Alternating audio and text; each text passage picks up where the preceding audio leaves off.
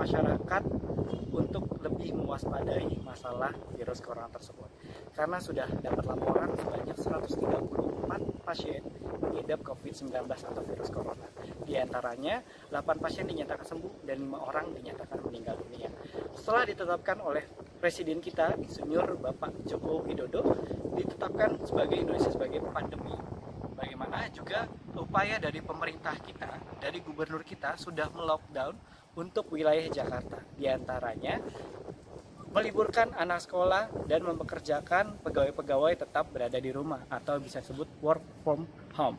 Nah, untuk upaya Masjid Jakarta Islamic Center sendiri, eh, kita sudah mengupayakan supaya untuk memperlakukan satu pintu atau hanya berlaku satu pintu di pintu utama. Dan juga kita memperlakukan untuk melakukan pengukuran suhu tubuh atau disebut dengan thermal scan. Dengan suhu tubuh normal kita sekitar 36,2 sampai 37,2. Di atas 37,2 baiknya kita melakukan himbauan untuk masyarakat supaya sholat di rumah.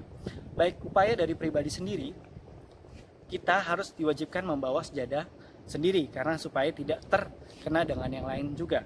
Nah, selain itu kita diwajibkan untuk cuci tangan sebelum berwudu atau dan juga setelah melakukan sholat. Bisa menggunakan dengan sabun atau bisa menggunakan antiseptik. Baik, akan saya tunjukkan bagaimana cara untuk melakukan cuci tangan yang benar. Ini ada antiseptik. Kita melakukan sebanyak lama 20 sampai 30 detik aja. Satu, dua, sela-sela. Terus kita kunci ibu jari. Baru. Kuku. Cukup. Tidak boleh lebih dari 30 detik. Kenapa? Karena ditakutkan kalau lebih dari 30 detik kuman-kuman masih menempel atau alkoholnya sudah menguap. Nah setelah itu kita juga diupayakan untuk tidak melakukan jabat tangan. Usahakan mungkin kita tidak menghindari kontak dengan yang lain atau jabat tangan dengan lain untuk sementara waktu.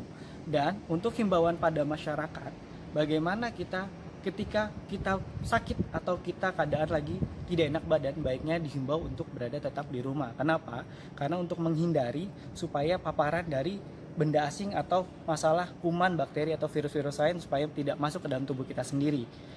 Baik itu aja dari saya. Saya harapkan untuk untuk JIC tetap selalu sehat dan untuk masyarakat tetap selalu sehat dan menjaga pola hidup sehat.